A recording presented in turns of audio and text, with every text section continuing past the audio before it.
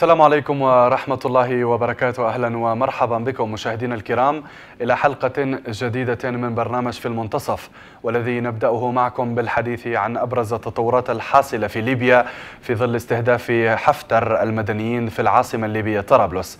إذا بعدما فشل لواء المتقاعد خليفة حفتر في استعادة المبادرة والرد على خسارته لمدينة غريان الاستراتيجية يوم الأربعاء الماضي وبعدما بدا واضحا انعدام قدرته على تنفيذ تهديداته باستهداف المصالح التركية في ليبيا إثر اضطراره لإطلاق سراح ستة مواطنين أتراك اعتقلتهم ميليشياته بعدما هددته أنقرة بعواقب وخيمة. فإنه اتجه الآن إلى الانتقام من سكان العاصمة الليبية طرابلس بإطلاق حملة جوية ضدهم تثير المخاوف من سقوط ضحايا مدنيين إضافيين في حربهم في حربه المستمرة منذ نحو ثلاثة أشهر. وبدأ واضحا ارتباك ميليشيات حفتر فبعد إعلان المتحدث باسم باسم هذه الميليشيات أحمد المسماري عن أوامر خليفة حفتر باستهداف المصالح التركية في ليبيا. بل واعتقال أي مواطن تركي عاد ونفى أنباء اعتقال المواطنين الستة على الرغم من تأكيد مديرية أمن أجدابيا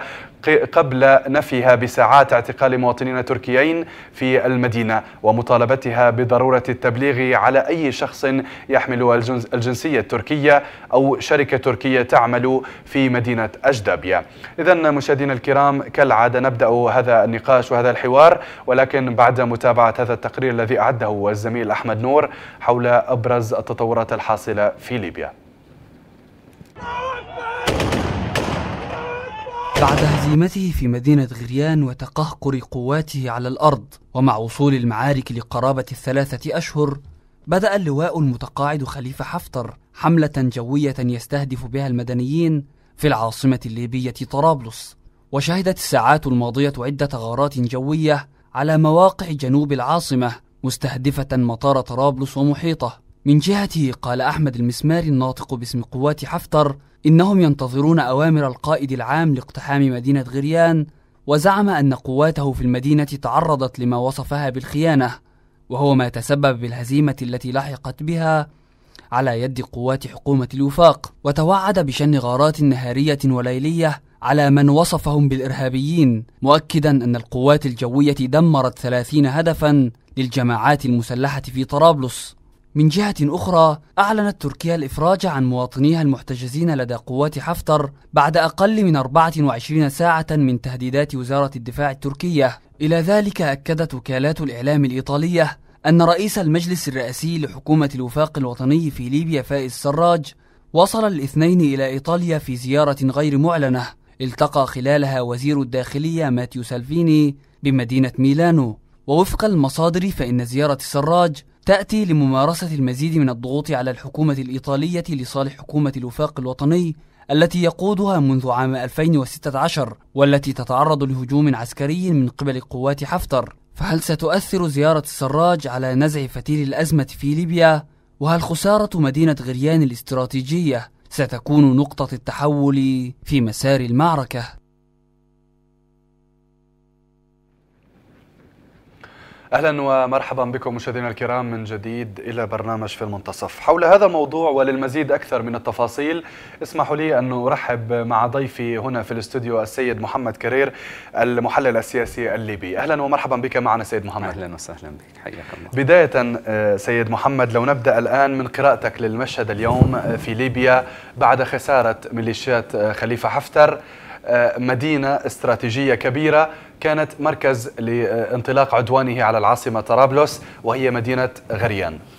بسم الله الرحمن الرحيم. تحية لك أخي الكريم ولكل مشاهدي قناة أهلا ومرحبا بك. الموقرة. واسمح لي في ثواني أن أهدي أعلى وأجمل التبريكات لثوارنا البواسل ولجيشنا أيضا الباسل التابع لحكومة الوفاق المدافعين عن الدولة المدنية والمسار المدني والديمقراطي على تخوم طرابلس بهذا النصر الكبير المؤزر الذي تحقق قبل أيام معدودة فقط بعد مضي حوالي أو قرابة ثلاثة أشهر على هذه الغزوة الهمجية التي أراد من خلالها مجرم الحرب حفتر ومحور الشر الداعم والمحرك له أن يسيطر على مقاليد الحكم في ليبيا وإعادة ليبيا إلى حظيرة الدكتاتورية والبستار العسكري والذي بإذن الله لن يتحقق ما دام هناك آآ آآ من يدافع عن المبادئ والقيم التي قامت من نعم. أجلها ثورة السابع عشر من فبراير؟ ما حصل خلال الأيام القليلة الماضية هو انتصار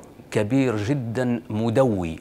هذا الصوت الذي دوى وتجاوز في آه، هذا آه، العمق أبو ظبي وتجاوز بني غازي والرجمة وتجاوز آه، القاهرة حتى وصل إلى قلب فرنسا.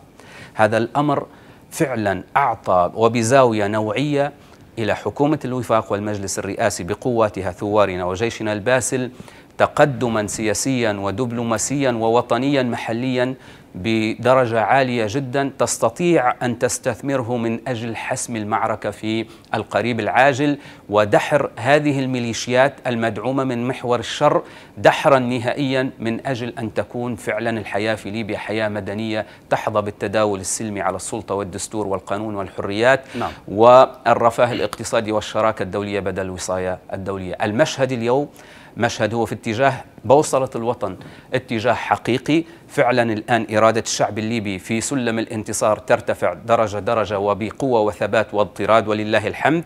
ما حصل في غريان هو هزيمة نكراء وفضيحة كبرى حتى لبعض الدول التي هي عضو في مجلس الأمن ومحور الشر وخاصة على رأسه الإمارات ومصر لما توافر وتواجد بعد هذه الهزيمة المدوية من أسلحة نوعية وذخائر خطيرة لا يستطيع أحد أن يتحصل عليها إلا باتفاقيات دولية ومحصورة ومحددة وذات صفات خاصة.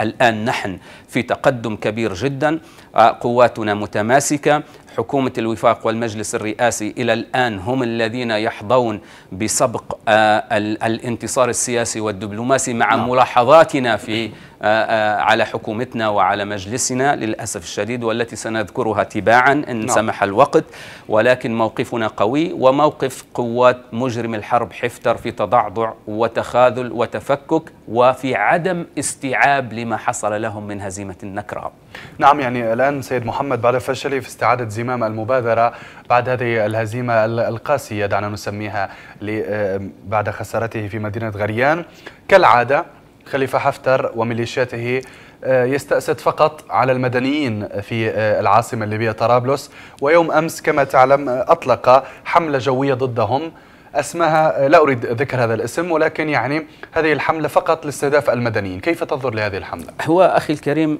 يعني إحنا لا لا لن نلتمس له العذر فيما يفعله الآن نعم. من باب حتى التعاطف الإنساني لكن الرجل ومن وراءه من الدول الداعمة له سواء الإقليمية أو الدولية نعم.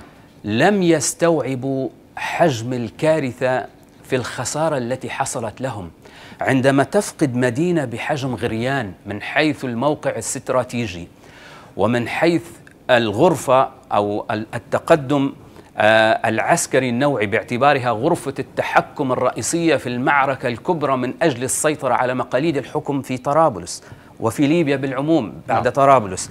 وهي التي تراهن عليها الدول الداعمة لمجرم الحرب حفتر. أنا أهمش مجرم الحرب حفتر باعتباره بيدق مصنوع وليس هو فاعل رئيسي في مسألة صناعة القرار آه، في دوره الآن في المنطقة بالكامل. هو له دور في ليبيا من أجل أن يكون في سدة الحكم لكن الدور الرئيسي هي آه، آه، يتمثله محور الشر الدول الداعمة على رأسها بقيادة فرنسا عضو في مجلس الأمن للأسف الشديد. نعم. هذا الذي حصل من فقدان للغرفة الرئيسية في ظرف ست ساعات بعد ثلاثة أشهر أو 85 يوم تقريبا.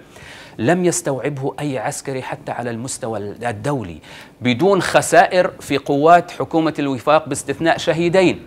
وبعض الجرحى وبأقل أضرار في المدنيين الموجودين في مدينة غريان الرافضين من الساعة الأولى لتواجد عصابات حفتر في هذه المدينة التي تقع على ذرى الجبل الأشم غريان نحن نعرف أن سقوط غريان نعم. يمثل سقوط المرتكز الأساسي والعمود الرئيسي لقوات مجرم الحرب حفتر في القيادة وفي التقدم الاستراتيجي العسكري باعتبار إن غريان منطقة مرتفعة وهي منطقة جبلية وفيها كهوف وجبال ووديان وتستعصي على الاقتحام بهذه السهولة وهذه الخطة النوعية التي قام بها الثوار والجيش التابع لحكومة الوفاق، وبالتالي هذا الأمر وهذه الصفعة العسكرية الاستراتيجية النوعية القوية جعلت من حفتر وقواته يفعل ما لا يمكن أن يتصوره إنسان وأن يصب جام غضبه على المدنيين الذين يستأسد عليهم دائما كما استأسد عليهم في بنغازي عندما عجز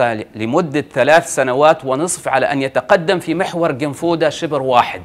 إلا بعد تدخل الطيران المصري والإماراتي وخاصة الطيران النوعي الفرنسي. وبالتالي هو الآن تكشف بالكامل انفضح تعرى تعرية كاملة أمام كل الليبيين وأمام كل المراهنين عليه من الدول والأنظمة الداعمة له من أن هذا الرجل ليس هو كما يقال وكما يصور ويسوق له إعلامه والإعلام المضاد لثورات الربيع العربي من أنه الرجل القوي وأمير الحرب القوي والذي هو قمع الإرهاب وسيصنع السلام. هذه الأكذوبة الآن تبددت وتهاوت كما تهاوى تهاوت غرفته الرئيسية لقيادة هذه المعركة نعم. في غريان والآن أصبح الرجل أعزل عريان بدون ثياب للأسف الشديد يعني مع احترامي للمشاهدين وهو يرقص رقصة الديك المذبوح هي الرقصة الأخيرة لمجرم الحرب والتي ستنتهي بتحرير مدينة آه، ترهونة إن شاء الله في القريب طيب. القادم سنتحدث بالتأكيد عن مدينة ترهونة في سياق هذه الحلقة ولكن يعني هنا آه، ألا يمكننا اعتبار أن هذه العملية الجوية التي أطلقها يوم أمس هي فقط لاستهداف المدنيين كما تحدثنا.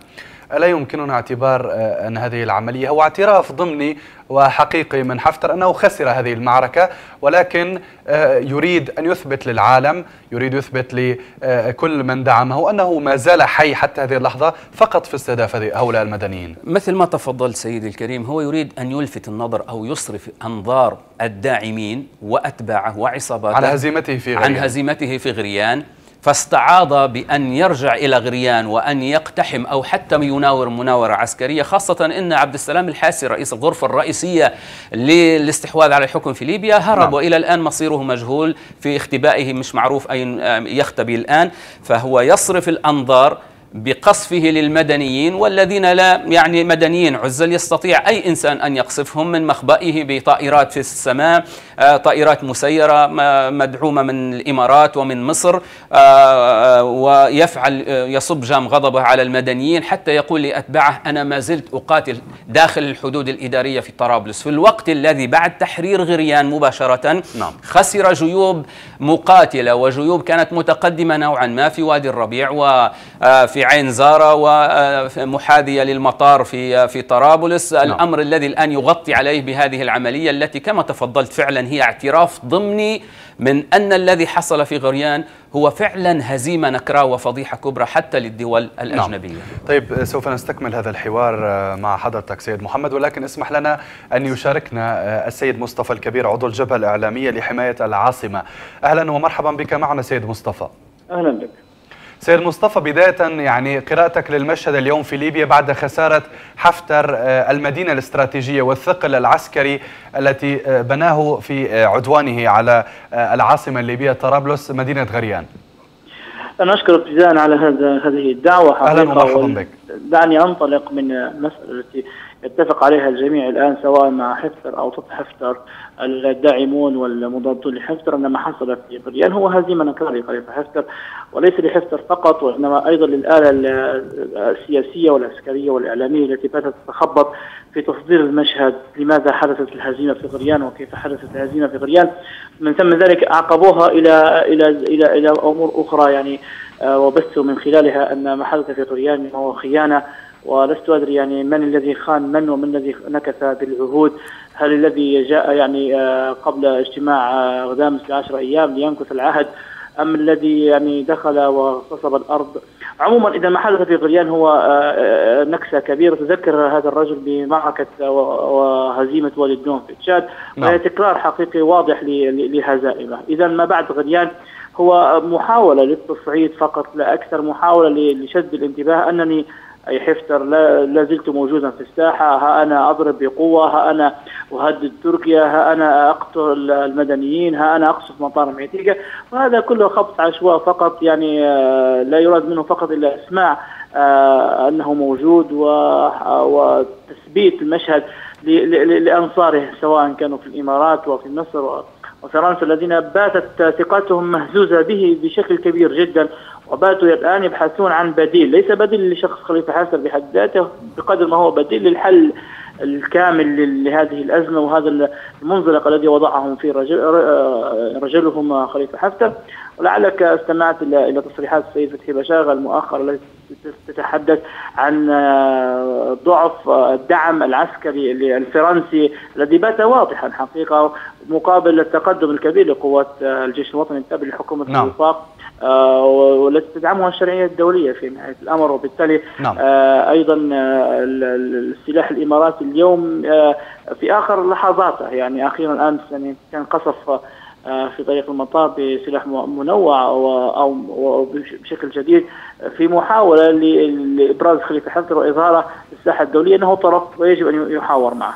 نعم يعني كما ذكرت سيد مصطفى وسائل الإعلام أيضا تحدثت عن تراجع بشكل كبير من قبل أكبر الداعمين وهي فرنسا عن دعمها لخليفة حفتر. هذا التراجع ألا يمثل بالنسبة لسير المعركة اقتراب نهاية مصير خليفة حفتر العسكري في في ليبيا.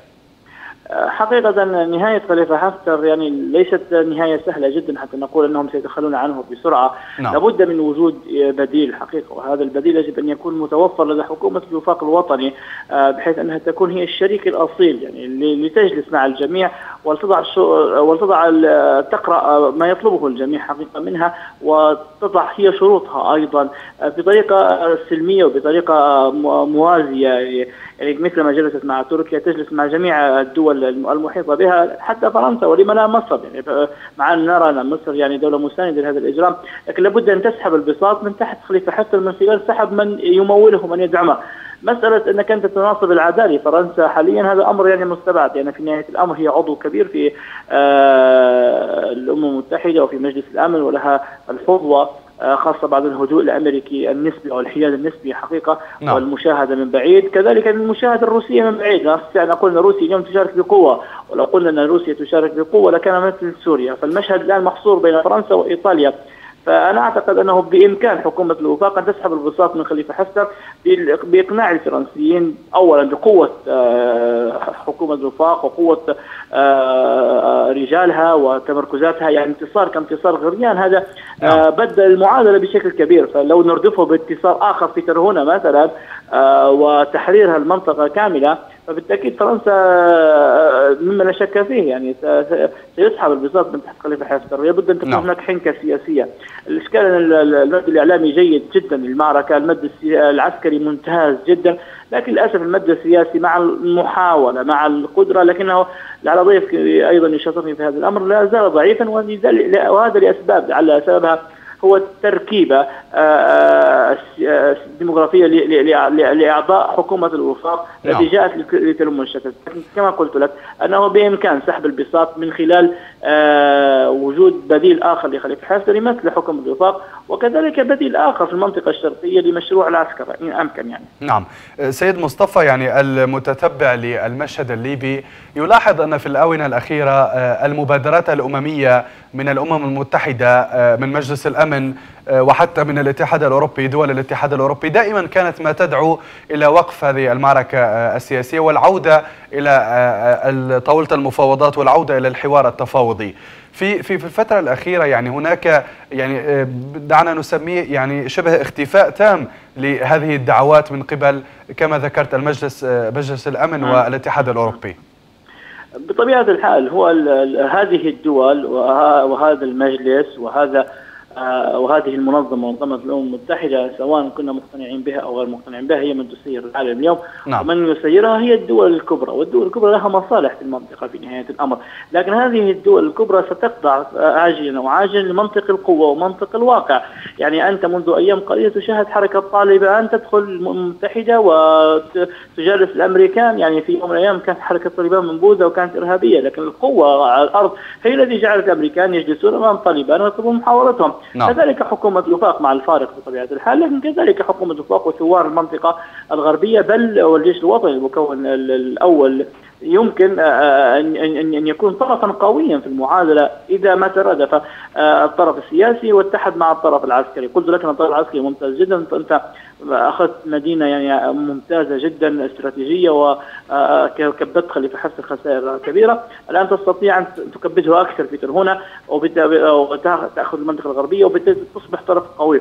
العالم سيقتنع بك كثيرا لأن العالم يجلس مع الأقوياء في نهاية الأمر، الأرض نعم. لك والسلاح. لك، خليفة حفتر لا يملك شيء يعني إذا ما نزع منه السلاح ال ال ال الإماراتي والسلاح المصري. خليفة حفتر ينتهي في 48 ساعة أو 72 ساعة. وضيفك يعرف هذا بشكل كبير جدا. ثوار بنغازي استطاعوا الصمود أربع سنوات وثوار درنة أربع سنوات فالمنطقة الغربية المدججه بالسلاح والمترابطة ومع بعضها البعض بالتأكيد ستصمد وليست لقمة سهلة في فيما أعتقد أن حكومه الوفاق تستطيع أن تتقدم حتى إلى الجنوب وتأخذ الجنوب وبالتالي سنجد أن الموقف الأممي هذه الخلاصة الموقف الأممي سيتغير لمصلحة ليس للحياد فقط بل لمصلحة حكومة الوفاق الوطني لكن إذا ما فعل العامل السياسي مع العامل العسكري. نعم الآن سيد مصطفى في سؤال أخير يعني ردا على هذه العملية أو على هذه العملية الجوية التي أطلقها يوم أمس خليفة حفتر وسائل الإعلام تحدثت أن قوات حكومة الوفاق سوف ترد على هذه العملية بهجوم على غرب ليبيا هذا الموضوع هذا السيناريو كيف ممكن أن يكون؟ لاحظ شيء أن حكومة الوفاق الآن هي نزال في محل الدفاع عن المنطقة الغربية. يعني بفضل الله سبحانه وتعالى أصبح خليفة حفتر بعيد عن تخوم طرابلس. الآن نعم. واصبح تمركزاتها هي بسيطه في وادي الربيع وعنزره وأغلب تمركز المدينة هنا فقط وغريان حررت. بإمكان حكومة الوفاق في أي وقت ان تأمر بالنفير العام وتتوجه نحو ترهون لأخذها لكن هذا سيكلف يعني باهظ الأرواح حقيقة وهذا الذي لا يرتضيه أحد حقيقة. خلاف ما يقوم به خليفة حفتر الذي يقصف المدنيين ويقتل الجميع بشكل كبير. لكن فيما اعتقده هو ان المسألة هي مسألة وقت. فقط بإمكان حكومة الوفاق أن تنهي الموضوع مبكرا لكن بإرادة ثابتة هذه المرة وبإرادة نعم. قوية تتحرك نحو هنا وترد. هناك بالفعل عمل جوي جيد. لسلاح الجو. الليبي وهم يعلمون كثيرا كيف يردون على هذا خاصة أن المعركة الآن أصبحت شبه متوازية مع دخول وشراء الدعم التركي الذي هو بين قوسين الدعم المشروع الذي يراه العالم كله حكومة الوفاق لا تتستر ابدا ابدا طلب طلبت الدعم الشرعي من من دولة صديقة بينها وبينها اتفاقات دولية وتفعل هذه الاتفاقيات وأصبحت المعركة الآن شبه متوازية. نعم شكرا لك جزيل الشكر. عضو الجبهة الإعلامية لحماية العاصمة السيد مصطفى الكبير شكرا لك على المشاركة معنا في هذه الحلقة.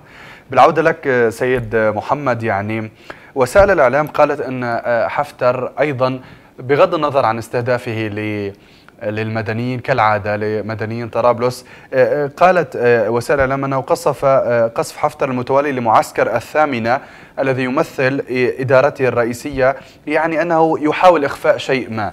هنا الحديث ماذا يريد إخفاءه؟ خليفة حفتر في تلك المنطقة تحديدا. طبعا هذا أخي الكريم ابتداء يؤكد على أن هذا المعسكر والغرفة التي كانت موجودة كانت هي الغرفة الرئيسية والكبرى لتحقيق مطامع ومطالب حفتر ومن ورائه الدول الداعمة له. نعم. آه ما تبين في هذا المعسكر وما تم إخراجه من قبل الثوار والمقاتلين آه الذين حرروا مدينة غريان هي أسلحة نوعية وهي أمريكية تجاوز تجاوزت هذه الصواريخ المضادة سعر الواحد منها تقريبا 174 ألف دولار تقريبا نعم. وهذه كانت يبدو أنها في اتفاقية بين الإمارات وبين أمريكا وبشروط معينة كيف وصلت هذه الأسلحة وكيف وصلت هذه الذخائر هذا الآن مجرى تحقيق أعتقد أنه في واشنطن مما سيضع الإمارات في خانة المسؤولية وخانة الإحراج أمام القانون الدولي نعم. ما يريد إخفاؤه مجرم الحرب حفتر والداعمين له من قصف متوالي على مدار حوالي ثلاث أيام لهذا المعسكر. أعتقد أنه جزء من أسماء شخصيات معينة كان يتعامل معها ويبدو أنها أيضا تمس بعض الدول وبعض العواصم سواء كانت الغربية أو العربية الإقليمية. نعم. ويبدو أنها أيضا عملاء ومتعاونين مع حفتر مع وثائق مهمة. ويظن أن كثير من الأسلحة والذخائر و الوثائق هذه المهمة التي تبين طبيعة هذا الأمر. يظن أنها ما زالت موجودة بهذا المعسكر وبالتالي القصف المتواصل سيطمس هذه الحقيقة. وحتى أن أتت لجنة تحقيق مستقلة أو تقصي نعم. حقائق لن تجد شيء من هذه الأثار في هذا المعسكر. لكن أعتقد أن جزء كبير من هذا الأمر تكشف وأصبح الآن لدى قوات حكومة الوفاق وعرض على الإعلام وهناك الآن لجنة تصور وتوثق فيديو وشريط وثائقي وتقرير معلوماتي عسكري مهني نعم. أمني من أجل تقديمه للجهات المسؤولة على المستوى الدولي في مجلس الأمن وكذلك واشنطن بصفة خاصة وبعد ذلك أمام الرأي العام حتى نضع الجميع أمام مسؤولياته القانونية خاصة من الناحية الدولية في مسألة دعم مجرم الحرب حفتر التي كثير ما يتنصل منها آه، الداعمين له على رأسهم الإمارات الآن الأمر أصبح واضح وأصبح آه، مفضوح وبالدليل المادي الملموس والذي نعم. هو بين يدي آه، حكومة الوفاق. ما على حكومة الوفاق مثل ما تفضل الأستاذ مصطفى إلا أن تستثمر دبلوماسيا وسياسيا هذا النصر الكبير. وهذه الأدلة الموجودة فعلا على أرض الواقع والتي هي بحوزتها الآن استثمارا حقيقيا في تحقيق زحزحة الدول والمواقف الدولية وتجييرها لصالح حكومة الوفاق المعترف بها دوليا بناء على اتفاق الصخيرات الذي نعم. فرض على الشعب الليبي. طيب سنعود لاستكمال هذا الحوار ولكن دعنا الآن نتابع آه، آثار الدمار دمار قصف ميليشيات حفتر لمنازل المدنيين في العاصمة الليبية طرابلس. نتابع معكم مشاهدينا الكرام هذه اللقطات ونعود للتعليق عليها.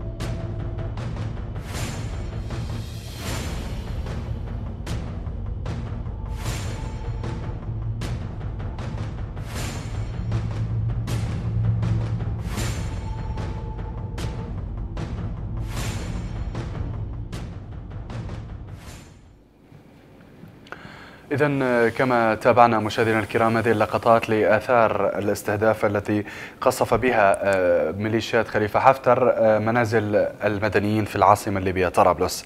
سيد محمد يعني هل هذه الغارات التي يستهدف بها خليفة حفتر المدنيين س يعني سيرجع بها مدينة غريان وسيتمكن من العودة لها أو سيتمكن من الاقتراب من العاصمة طرابلس هو فقط يعني آه، آه، قتل الأبرياء واستهداف للمدنيين ودعنا نسميه انتقام من من المدنيين الأبرياء في مدينة طرابلس. هي دوافع الهزيمة النكرة عندما فقد العمود الفقري لعملياته المشؤومة للسيطرة على مقاليد الحكم في ليبيا آه اللي هي مدينة غريان وغرفة التحكم والسيطرة والتخطيط لهذه العملية وهروب الحاسي آه واختبائه إلى الآن الآن يضرب المدنيين. الذي رأيناه في الصورة أخي الكريم هو بيت. هي نعم. بيوت مدنية لم نرى أهداف عسكرية تقصف ولم نرى قتل مقاتلين بل كانت هناك طفلة وأبيها قتلوا في هذا القصف. والقصف كان أحد القصف كان من دبابة كانت قذيفة دبابة وقصف الآخر توالى في الليالي الماضية نتيجة الطائرات من غير طيار مسيرة وهي تقصف المدنيين. وهذه الطائرات مشهور عليها بالدقة في الأهداف. إذا نحن أمام مشهد مأساوي يمثل أعلى درجات اختراق القانون الدولي في مسألة حرمة آه، حقوق المدنيين واختراق هذه المسألة مسألة الآن أمر خطير. الآن هذا الأمر أمام المجتمع الدولي. وأمام منظمات حقوق الإنسان والمنظمات القانونية.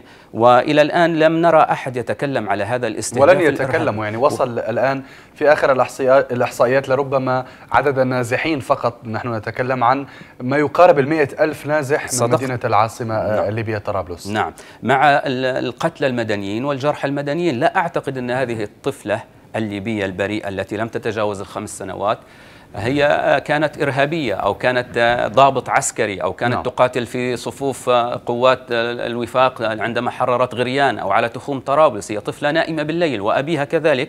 والجرحى الآخرين الذين الآن ثبت بالهلال الأحمر والصليب الأحمر والمنظمات الدولية أن غالبيتهم من المدنيين. إذا هناك الآن جريمة في حقوق الإنسان وجريمة في حقوق الأطفال أيضا وجريمة في حقوق المدنيين مركبة ومتكاملة الأركان. يشترك فيها مجرم الحرب حفتر مع المنظومة الدولية الصامتة والتي صمتها لا يفسر إلا بأنه غض طرف ورضا عن هذه الجرائم للأسف الشديد هناك أيضا ملام وطني ولوم وطني كبير جدا وعميق على حكومة الوفاق ودبلوماسية حكومة الوفاق وخارجيتها نعم. لم نرى دبلوماسية مكوكية تستثمر آه هذا الانتصار أولا ثم آه تعلن وتظاهر مظاهرة ومجاهرة بهذا الاعتداء الصارخ لحقوق الليبيين والأطفال والمدنيين والممتلكات والأرواح التي تزهق الآن وتقتل بدم بارد بطيارات من دون طيار. ومعروف نسبة هذه الطيارات لمن حفتر لا يمتلك هذه الطائرات هي من الإمارات ومن مصر.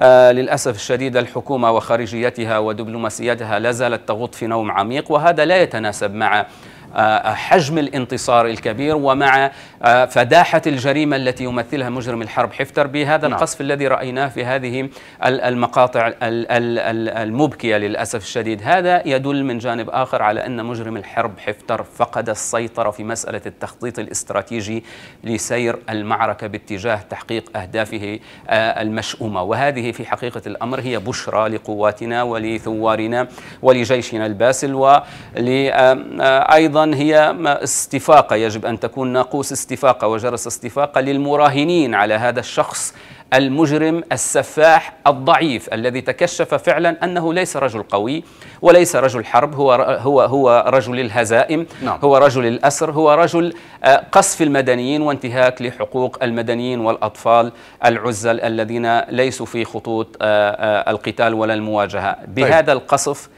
يزداد تعرية ولن يستطيع أن يستعيد العمود الفقري غريان الجبل الاشم. طيب العودة للحديث على مدينة غريان وعلى نتيجة خسار خسارته لهذه المدينة الاستراتيجية.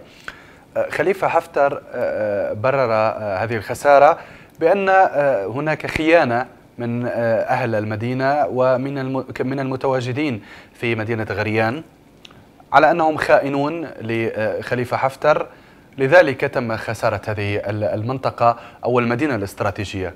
كيف تقرأ تبريرات خليفة حفتر؟ هو في حقيقة الأمر لم يعقدوا معه علاقة حب حتى خانوه. يعني ولا أعتقد أن هناك حتى هناك حب من طرف واحد. يعني هذا المجرم استطاع أن يدخل بقواته في ليلة ظلماء إلى مدينة غريان.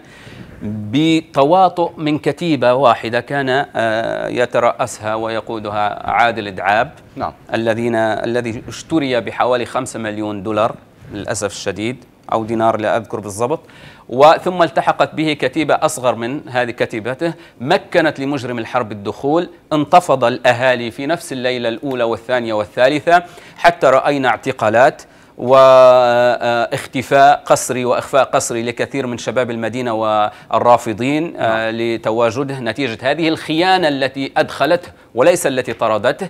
ورأينا شارع الزيت يتحول من بنغازي إلى غريان وبرمي تسع قتلى طاهرة من شباب وأهالي غريان بعد أن تم اختطافهم وتصفيتهم من أجل تركيع المدينة. هذه علامة قوية على أن هذه المدينة هي عالية في الرفض هي قوية في الرفض قوة الجبل الذي تتربع عليه نعم. وغريان معروفة عبر التاريخ لم تخن أي ثورة ولم تخن أي تمرد ضد الاستعمار أو أي, أي, أي مسار في تحرير الوطن وتجير القرار الوطني بسيادة وطنية الذي حصل أن غريان هجر من هجر واعتقل من اعتقل وفرض عليهم نتيجة هذه الكتائب التي دخلت بموالاة كتيبتين من غريان خانت مدينة غريان ثم جهزت غريان عدتها من الداخل قبل الخارج وبفعل ثوارها وأبطالها ووطنيها الذين كانوا في مقدمة الصفوف من خارج مدينة غريان.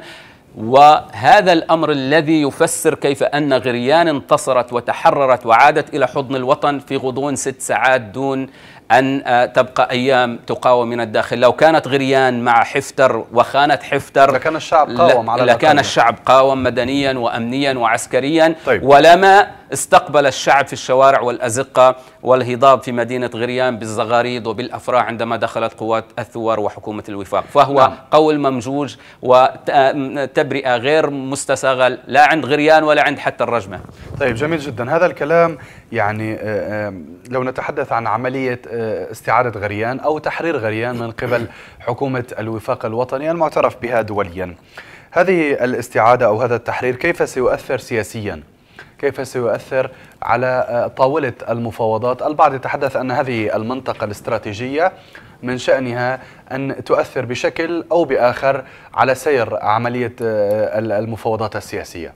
قطعا أخي الكريم أستاذي الكريم يعني آه، أوراق الضغط واللعب السياسي التي كان يتخذها مجرم الحرب حفتر أوراق قوة من أجل على الأقل إن لم يسيطر على مقاليد الحكم في ليبيا يكون عنده آه، آه، موقف متقدم في التفاوض ويرفع سقف المطالب حتى يكون رقم صعب ورقم واحد ورقم عشرة في الحوار القادم أو المسألة السياسية القادمة نعم. التي كانت ترسم بتواطؤ دولي للأسف الشديد هذه الأوراق الضاغطة والتي كانت بمثابة البلان بي لفشله في اقتحام طرابلس في غضون 48 ساعة إلى 72 ساعة كما سوق كذبا وزورا وبهتانا للدول الداعمة ولأنصاره. آه، كانت تقتضي أو كانت آه، تتضمن أن تبقى غريان تحت قوة عصابات حفتر بسيطرة كاملة وهي غرفة آه، نوعية واستراتيجية وخطيرة جدا وقوية كان يجب أن تكون هكذا لأنها جبل وكهوف ووديان ومن الصعب السيطرة عليها بعد دخولها من الصعب السيطرة عليها من جديد نعم. آه، ومن ثم أيضا ترهونة وبعض الجيوب المتقدمة التي دائما يناور بها من أجل تثبيت غريان وترهونة كتبقى طوق وفرض أمر واقع جديد وصورة عسكرية وجيو عسكرية جديدة جغرافيا عسكرية جديدة لمجرم الحرب حفتر. ويصار بعد ذلك إلى قرار أممي عن طريق مجلس الأمن بوقف إطلاق النار بوجود الغرفة وغريان وترهونة والجيوب المقاتلة لحفتر نعم. في طرابلس وداخل الحدود الإدارية في طرابلس وعلى تخوم طرابلس حتى يصبح موقف الثوار وحكومة الوفاق والقوة المساندة موقف ضعيف جدا ويرضى بعد ذلك ويرتضى بأن يكون حفتر هو الرقم الصعب وهو الذي يملي شروطه في آه، العملية السياسية والحوار القادم هذه الأوراق الخطيرة الاستراتيجية والقوية التي لا يفقدها إلا غبي ولا يفقدها إلا شخص لا, لا, لا, لا ليس في تاريخه إلا الهزائم والأسر. فقدها حفتر في آه، غريان في ظرف ست ساعات بعد سيطرة 80 يوم. هذا أمر عسكريا لا يمكن استساغته على الإطلاق إلا نعم. أن غريان رافضة ومنتفضة.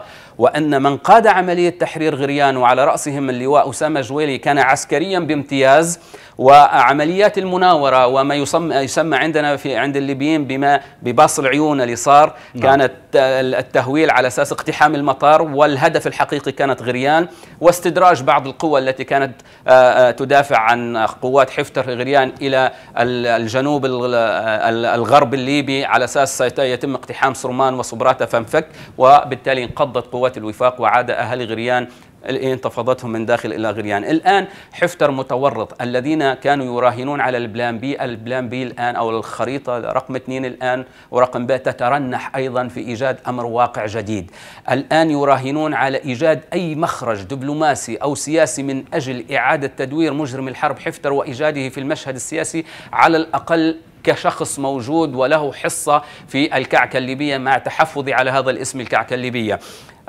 ما لم يبقى له الآن حتى يخرج نهائيا من مشهد المفاوضات القوي إلا نعم. تحرير آه ترهونة. الآن آه الإمارات مصر السعودية بقيادة فرنسا في موقف محرج. الرهان على هذا الحصان الخشبي تكشف وأصبح غير ممكن. عملية استعادة غريان العمود الفقري أصبحت شبه مستحيلة الآن. آه محاولة الآن دعم ترهونة من أجل أن تبقى على الأقل جيب متقدم وحاضنة إلى حد ما نعم. تترنح أمام ضربات الوفاق. وأعتقد أن في غضون الأيام القادمة قد تجير هذه المدينة إلى حضن الوطن والدولة المدنية من جديد. وبالتالي الآن فرنسا في آه، حرج مع الإمارات ومصر والسعودية خاصة في ظل وجود أسلحة نوعيا انكشفت في غرفة غريان وهي بحوزة حكومة الوفاق، المشهد السياسي بعد خسارة غريان آه، مشهد في صالح حكومة الوفاق في صالح المجلس الرئاسي نعم. للأسف الشديد مع هذا الانتصار الكبير يوازيه ضعف كبير في دبلوماسية وخارجية الوفاق حتى تستطيع أن تفرض واقع جديد نعم. وأمر شرعي باعتراف المجتمع الدولي المعترف بحكومة الوفاق بناء على اتفاق اسخيرات جديد آه واقع جديد تكون هي رقم واحد ورقم طيب. عشرة ورقم مئة في المشهد السياسي القادم. جميل جدا. سوف نعود لاستكمال هذا الحوار أيضا معك سيد محمد ولكن اسمح لنا أن يشاركنا السيد محمد مرغم عضو المؤتمر الوطني العام. أهلا ومرحبا بك معنا سيد محمد. مرحبا أهلا وسهلا بك. أهلا ومرحبا بك سيد محمد. يعني قراءتك للمشهد ما بعد خسارة آه، آه، آه، خليفة حفتر مدينة استراتيجية كبيرة مثل غريان. طبعا آه، غريان أهميتها الاستراتيجية الكبرى يعني أن هي المفتاح أو المنفذ أو أو مركز العمليات. هو يكفي أن يكفي خسارة مركز يعني غرفة عملياته. يعني يعني احسن مكان ممكن يكون لأي جيش هو غرفة عملياته التي يقود منها آه، بقية قطاعاته وبقية مقاتليه. فإذا تم الاستيلاء على هذا فيعلم الجميع أن حفتر ليس قائدا عسكريا ولا يأتي ولا وهو أصلا يعني معتاد على الهزائم وهذه سلسلة من الهزائم وهذه لن تكون الأخيرة إن شاء الله. نعم. آه، الم- ال- المسألة يعني مسألة وقت والمقاتلون ال- الذين يدافعون عن طرابلس آه، يهمهم شيء آخر مهم جدا لا يعني حفتر ولا قواته وهو سلامة المدنيين وسلامة البنية التحتية للمناطق التي يستهدفون تحريرها. هو اطلق هو- هو أطلق هذه ترونه- العملية. نعم. ترونه عندما يخسر منطقة أو يبدأ يقصف في المدنيين ويقصف يعني أرض محروقة أرض عدو يعتبرها أرض عدو مش أرض يريد تحريرها كما يزعم. نعم. وبالتالي نحن يعني نحتاج إلى شيء من الوقت وشيء من الترتيب وشيء من الإعداد الجيد حتى يعني يتم تحرير آه، ترهونة وبقية المناطق بأقل كلفة من الخسائر البشرية والمادية. نعم هو برر يعني آه، سيد محمد خسارته لحفتر أقصد هنا برر خسارته لمدينه غريان آه، اعتبر هذا الموضوع بسبب الخيانة. كيف تقرأ هذه التبريرات؟ لا لا خيانة ولا سوء. هو يعني هو هو دخوله إلى غريان هو بسبب الخيانة. هو هو يعكس في الأمور. حفتر ومن أو من على شاكلته دائما نعم. جرائمهم ومخازيهم دائما يلصقونها بجانب ال- يعني حتى جنوده الذين قتلوا في الميدان يدعي أنهم تم تصفيتهم. من اللي كان يقاتل معاك أنت؟ من, من هو الذي كا- يعني هم كانوا راقدين كانوا مدنيين كانوا يع- يعملون في المستشفيات والطرق وال وهؤلاء الذين أتيت بهم؟ آه، هذه شيء يعني مسألة الخيانة. أهل غريان لم يرضوا بك ولم يبايعوك ولا أنت آه، يعني يعني استطعت أن تستميل بالمال وبال وبإقناع وب- بطرق أخرى غير غير سوية. إقناع نعم. كتيبة من كتائب آه، غريان است- استطعت أن تستميلها إلى جانبك. وأهل غريان لم يشاءوا في ذلك الوقت أن يدخلوا في صراع داخل المدينة فآثروا الانسحاب.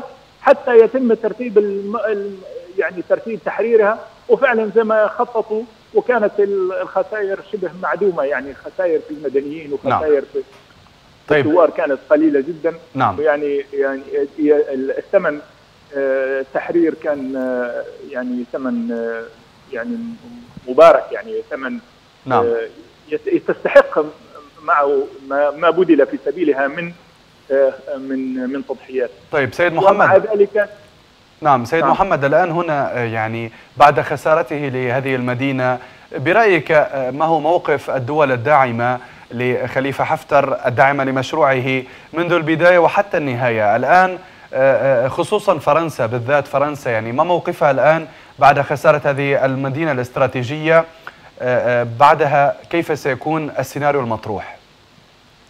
شوف يا أستاذ هؤلاء الداعمون لحفتر ليس لهم لنا يعني ليس عندنا عندهم لنا إلا اثنين خيارين اثنين. نعم. إما أن يستقر الأمر ويستتب تحت سلطان جائر يعني ومستبد وظالم وكان طاغية أفضل بالنسبة لهم نعم. مثل القدافي وإما الفوضى. فهم لن يت يعني لن يتركونا يعني لن يتركوا القوى المدنية والقوى الديمقراطية والقوى التي تريد أو ترغب في في بناء دولة قانون ومؤسسات وعدل وتنمية. هذه لا يرغبون فيها في سواء في ليبيا أو في المنطقة العربية عموما يعني.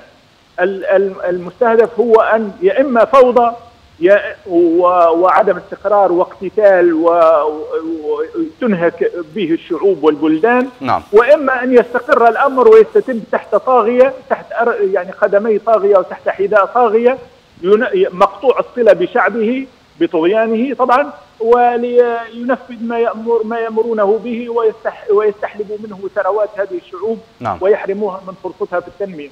أما وبالتالي أنا لا يعني لا أظن ولا أرى أنهم سيتخلون عن حفتر وإذا قتل حفتر أو انتهى حفتر أو عزز حفتر سيصنعون لنا ألف حفتر عندهم من من العملاء وعندهم من, نعم. من يستطيعون شراءه كثير يعني. نعم شكرا لك جزيل الشكر. عذرا للمقاطعة لضيق الوقت. شكرا لك سيد محمد مرغم عضو المؤتمر الوطني العام. شكرا على المشاركة معنا في هذه الحلقة. بالعودة لك سيد محمد يعني فرنسا بشكل معلن أو بشكل غير معلن بدأت نوعا ما بتراجعها عن الدعم المطلق والكبير في بداية عدوان خليفة حفتر على العاصمة الليبية طرابلس. فرنسا اليوم نفت اعترافات قيادي تابع لخليفة حفتر تم استجوابه بعد السيطرة على مدينة غريان. أكد فيها طبعا وجود عسكريين فرنسيين وإماراتيين ومصريين. واليوم حتى وسائل الإعلام تحدثت أن هناك قوات من السودان أيضا تشارك في هذا العدوان. فرنسا أو نفي فرنسا كيف ممكن تبريره الآن وفي هذا الوقت بعد خسارة غريان؟ هو في حقيقة الأمر هذه سياسة ودبلوماسية اعتمدتها فرنسا منذ غزوة المجرم حفتر للدولة المدنية وعاصمتها طرابلس في ليبيا إحنا شهدنا قبل شهرين أو ثلاثة أشهر أن 23 من بينهم غالبيتهم من الشخصيات الفرنسية غادرت عن طريق منفذ رأس جدير إلى تونس وتم ضبطهم عن طريق الأمن التونسي وتم التحقيق معهم. هذه ما كانت بالصوت والصورة أعتقد وفضيحة حقيقية. لا تستطيع فرنسا أن تتنصل منها. فرنسا عندما نعم. تم الضغط عليها وخرجت المظاهرات في ميادين وساحات الثورة وميدان الشهداء في طرابلس ومصراتة والزاوية ولبس الليبيون السترات الصفراء محاكاة للمظاهرات في فرنسا. قالت نحن نعترف بمجرم الآن نحن نعترف بحكومة الوفاق ولم ندعم مجرم الحرب حفتر قالت لم ندعم قوات حفتر ونحن نقف على مسافة واحدة من الجميع. هذه دبلوماسية معتادة. نحن نصدق الأفعال ولا نصدق الأقوال. لأن اعتدنا من فرنسا الاستعمارية والتي تحن الآن إلى الجنوب الليبي بعد أن سيطرت على الشرق الليبي. نعم. وتحن إلى محاصرة تونس إذا تمكن بيدقها حفتر من مقاليد الحكم في ليبيا ومحاصرة الحراك في الجزائر. ومن ثم بعض دول الدول الفرنكفونية الموجودة في أفريقيا. لن, لن تتخلى عن حفتر بهذه السهولة. هي دفعت أموال ودفعت قتلى سقطوا على الأراضي الليبية في بنغازي على أيادي الثوار الطاهرة. ثلاث قتلى من القوات الفرنسية وكان تأبينهم رسمي على أعلى مستوى في القيادة الفرنسية في أيام حكم ماكرون تقريبا. وهذا شاهد هذه شهادة كبيرة يعني ليست ليست من نسج الخيال وليست مجرد هكذا كلام صحف أو فيسبوك أو غيره. فرنسا لديها الآن باعتراف ضابط من غرفة العمليات الرئيسية لمجرم الحرب حفتر التي كانت في غريان يقول نعم. أن هناك خمس ضباط أو خمس عناصر أمنيين يسيرون هذه الغرفة ويشاركون في الحرب على طرابلس هم من فرنسا مع عشرة من الإمارات مع جنود فرنسيين مع مجموعة من العدل والمساواة المرتزقة التشادية والسودانية أيضا فرنسا لن تستسلم دبلوماسيا من حيث التصريحات لن تعترف الاعتراف طيب. إدانة نعم. ولن تتخلى عن مجرم الحرب حفتر هو مشروع متكامل إن سقط حفتر فالآن يبحثون عن البديل لكن نعتقد أن فرنسا ليست صادقة مع الشعب الليبي نعم. وهي تتخذ مسافة الآن عميقة في العداوة للشعب الليبي للأسف الشديد الآن سيد محمد لو نتحدث عن موضوع إطلاق سراح الأتراك المعتقلين عند حفتر. أحمد المسماري المتحدث باسم ميليشيات خليفة حفتر قال إن إنه أعطى أو إن حفتر أعطى أوامر باستهداف كل المصالح التركية بل واعتقال أي تركي متواجد على الأراضي الليبية. في في في في هذا الحديث كان هناك تناقض كبير، دعنا نتابع هذه التصريحات للمسماري حول عدم إعطاء أي بيان من قبل خليفة حفتر لاستهداف المصالح التركية، نتابع هذه اللقطات ونعود معكم ومع السيد محمد للتعليق عليها. الأيام والليالي الماضية ستعود وتيره القوات الجوية اقوى اقوى من قبل وستزيد نسبة القصف الجوي في هذه الأيام. بالنسبة آه هذا هو الموقف خلال ثلاث أيام. قواتكم متمركزة بشكل جيد. آه معنوياتنا عالية جدا. إمكانياتنا متوفرة والحمد لله آه كل الأمور تحت السيطرة. الناس تسأل على غريان الخطة جاهزة التنفيذ جاهز الأوامر عند سيدي القائد العام.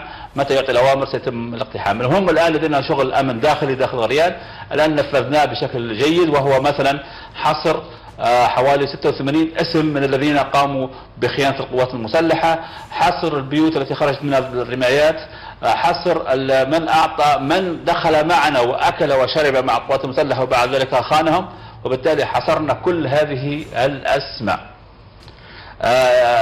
هذا السؤال الآخر يتردد دائما في الإعلام هو ما ردنا على بيان تركيا على بيان وزير الخارجية التركية بتصعيد الموقف وقصف وأن القوات المسلحة أصبحت هدف مشروع لهم، نحن لم نصدر من لحد هذه اللحظة بيان، الموضوع الآن تحت الدراسة على أعلى مستوى سواء في القيادة العامة، سواء في مكتب سيدي القائد الأعلى للجيش، سواء في البرلمان الليبي، سواء في الفعاليات الشعبية مثلا شيوخ القبائل والأعيان، هذه معركة وطن وليست معركة قوات مسلحة فقط. سيد محمد تابعنا هذه التصريحات للمتحدث باسم قوات خليفة حفتر. هذا التناقض وهذا يعني التخبط دعنا نسميه كيف ممكن تفسيره الآن؟ هو ابتداء دعنا نوضح شيء لإخواننا المشاهدين إن هذا الرجل يعني مهرج يعني مع تحفظي على هذا الاسم احتراما لقناتكم المشاهدين. لكن في حقيقة الأمر يعرف عند الليبيين بأنه غناي علم يعني. كان يغني يعني فأصبح الآن يعني ناطق وهو مهرج. أحيانا يستمع إليه الليبيون من أجل التندر. آه ويأتي بمعلومات غريبة رهيبة مخلوطة مغشوشة فأصبح الناس حتى في الرجمة وحتى في بنغازي وحتى في المنطقة الشرقية لا يأبهون لكلامه إنما مجرد للنكتة والتندر. فهو الآن يمارس عمل دوره من أمام سيده مجرم الحرب حفتر. فهذا تسويق إعلامي. هو يتكلم عن حصرنا أسماء 100 ومش عارف كم في غريان وكذا. يا أخي أنت غريان ما حافظت عليها عندما كانت الغرفة هناك. ما استطعت أن تسيطر على غريان وأنت في غريان. الآن تدعي أمام أنصارك وأمام العالم الذي تكشفت أمامه عريان للأسف الشديد بأنك ستستعيد غريان. هذا حلم إبليس بالجنة مستحيل بإذن الله. نعم. آه موضوع آه تركيا الرجل تكلم بالصوت والصورة قبل ذلك وتلا البيان أو الأوامر التي أتته ونزلت على مواقع التواصل الاجتماعي والآن يقول لا يوجد أي بيان الآن يقول لا يوجد أي بيان وهنا نلاحظ كيف في مسألة الإعلام وأنت أستاذي الكريم وقناتكم موقرة إعلاميين متميزين. الإعلام الذي لا يرتكز على ثلاث مقومات هو إعلام ممجوج الحق والصدق والواقعية. هذا الرجل لا يقول حق يأتي بباطل نعم. ولا يقول صدق يكذب. الآن يقول لا, لا يوجد لم نقل ولا يوجد بيان ولا كذا وهو بنفسه تكلم بالصوت والصورة. إلا إذا كان جني يمثل دوره في في في الرجمة في الهولولولو أو في مكان آخر. والواقعية هذا الرجل يتنكر للواقعية الآن يتحدث عن أشياء كأنها موجودة في المريخ ليست على أرض الواقع. فهو إعلام نعم. مكذوب وممجوج وتعود عليه الليبيون للأسف الشديد. وأعتقد حتى الشعوب العربية ومن يستمع إلينا الآن أصبح يعرف المسماري أنه لا يمثل من الحقيقة ولا الصدق والواقعية أي شيء. آه هو كما يقول الأتراك أو في الأثر اتركوا الترك ما تركوكم. هو أتى إلى إلى مقتله بنفسه ولعل هذا سوق رباني. عندما استعدى تركيا وأعتقد إن تركيا كانت تنتظر أبسط عذر من أجل أن تنقض وتقضي على هذا المجرم الذي يشابه جولان في عملية وتركيا مكتوية من الانقلابات العسكرية. نعم. الآن الرجل أصدر تعليماته وتلاها هذا البيدق له. باعتقال وضرب وقصف البواخر والما والطائرات وحتى الملابس أحرقوها حتى المحلات في بني غازي تنفيذا لهذا لهذا الغباء الذي لن يعود على الأتراك بأي ضرر إنما يعود على الشعب الليبي وخاصة المنطقة الشرقية بالضرر الكبير جدا. نعم. حتى المحلات التي تحمل اسم اسطنبول أو أنقرة أو غيرها وهي محلات ليبية ومطاعم ليبية ليس لها علاقة بال بال بالأتراك مجرد الاسم. منعوها وكسروها وحرقوها ودمروها. يعني في قمة الغباء هنا و... نعم هنا أريد لأشير لنقطة. أيضا المسماري تحدث وقال أن تركيا يعني أصبحت تقاتل بكل بكل قوة لكي تصبح طرابلس قاعدة لها، يعني يتهم تركيا بالتدخل في في ليبيا ودعمها لحكومة شرعية تمثل الليبيين أمام العالم العربي وأمام العالم الاجمع ويتناسى الدعم الإماراتي والمصري والسوداني والفرنسي والقوات العسكرية على لسان أحد القوات التي الذي اعتقل في غريان، هذا الموضوع يعني ألا يخجل منه الا يستحي من هذا الموضوع؟ هؤلاء أخي لا يستحون، إذا كانوا يستحون كانوا استحوا عندما نبشوا القبور وحرقوا الجثمين وطافوا بها بعد أسبوعين وثلاث أسابيع من وضعها في القبور لثوار نعم. بنغازي وغيرهم، لكن هذه ارتدادات الفضيحة المدوية وسقوط غريان في من يديهم وتحريرها وتجييرها لصالح الوطن ورجوعها إلى حضن الدولة المدنية والمسار الديمقراطي، هذا ارتداد حتى يصرف أنظار أتباعه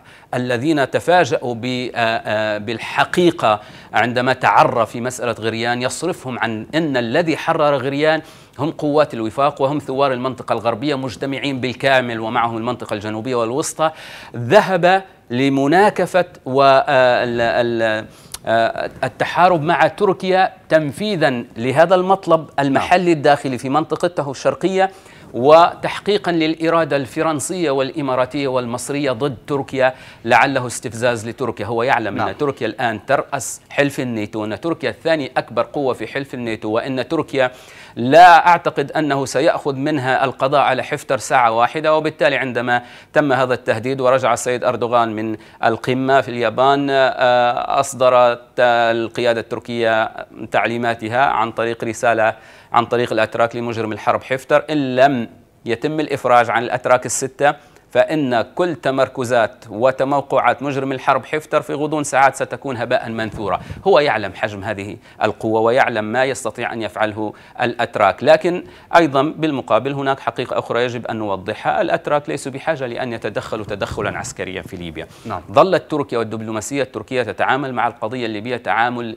الأخلاق القانونية على مستوى القانون الدولي باحترامها لاتفاق الصخيرات باعتبارها أحد الأطراف الداعمة والموقعة والراعية لهذا الاتفاق من نعم. ضمن المنظومة الدولية ولم تتجاوز هذا الاتفاق وهذا الحد القانوني طيب. إلا عندما دعمت حكومة الوفاق عندما فعلت الاتفاقية بوجود السيد وزير الداخلية فتحي بشاغة لدعم حكومة الوفاق بناء على الاعتراف الدولي من أن هذه هي الحكومة والقوات الشرعية ومن حق هذه الحكومة أن تستعين بأي دولة في دعمها ضد طيب. هذا المعسكر المجرم نعم سيد محمد لكي لا أخذنا الوقت كثيرا لم لم يعد يتبقى لدينا الكثير من الوقت وسائل الإعلام أيضا تحدثت عن تراجعات نوعا ما للإمارات الدعم الثاني والكبير لخليفة حفتر. وسائل الإعلام اليوم تحدثت أن الإمارات تحضر تحضر لمشروع وخطة بي كما تحدثت حول خليفة حفتر.